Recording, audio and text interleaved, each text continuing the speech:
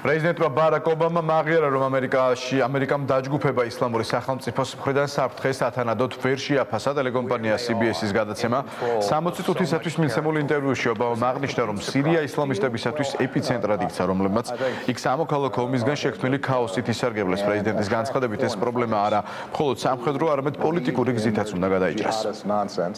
uh, and uh, and shrink i think uh, our head of ნიშნულოვანია იმის აღიარება რომ სამხედრო გზა ამ პრობლემის მოგვარების ერთი ნაწილი იქნება. ჩვენ უნდა ვაიძულოთ ისინი უკან დაიხიონ. დააბრუნონ დაკავებული ტერიტორიები. მოგვიწევს მათი ცენტრების შეიარაღების განადგურება. ასევე უნდა აღვკვეთოთ მათი დაფინანსება და უცხოეთიდან მებრძოლთა ნაკადი. which